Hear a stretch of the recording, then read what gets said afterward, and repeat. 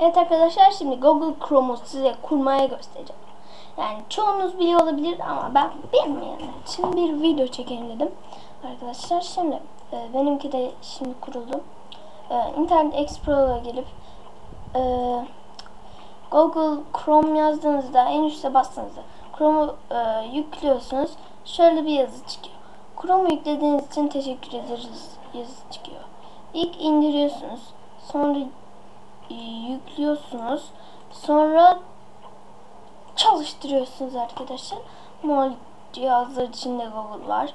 E, normal Google uygulaması da edinebilirsiniz arkadaşlar tablet veya başka bir şey için.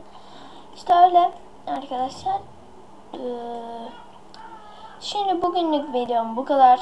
Gelecek günlere ya da bugün başka bir video ile yanınızdayız ve bay bay. Yine bay bay.